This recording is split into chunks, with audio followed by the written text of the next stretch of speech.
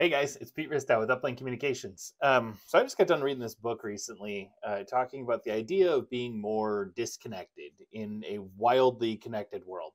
Um, and I work in the VoIP industry, and so most of what we talk about all the time is being connected. you know, we know all about that. I mean, um, even in my last video that I did, I was talking about having an LTE connection for your phone system. That way, when your internet goes down, you can stay connected. Um, but sometimes, you know, it, it's okay to unplug, right? And it, you can even argue that it's actually really important to do that sometimes. It's important to create those boundaries. Um, and ironically, the voice over IP phone systems can really help you disconnect.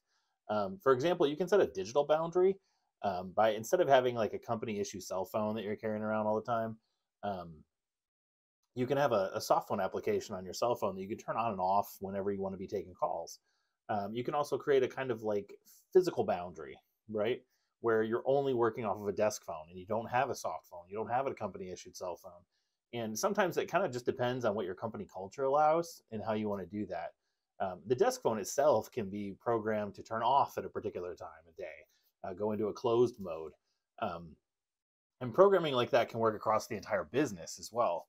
So, but I get that everybody does things differently, and every system should be able to facilitate those needs. And that's the beauty of VoIP.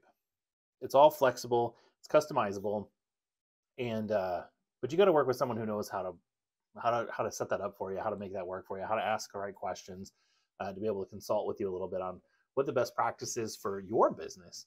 Um, and that's one of the best parts of my job. I absolutely love doing that.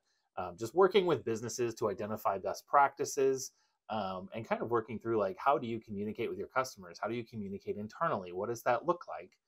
Um, and that's kind of what we do at UpLync instead of just, you know, doing what some other companies do where they hand you a box full of phones and some login information for a portal and say, here, have fun, you know?